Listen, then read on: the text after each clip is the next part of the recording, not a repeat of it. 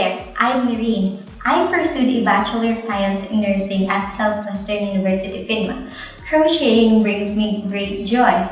I pride myself in being approachable and friendly. My goal is to create a relaxed and enjoyable atmosphere while I learn English. Count on me to give my all in teaching you English. Let's meet online soon!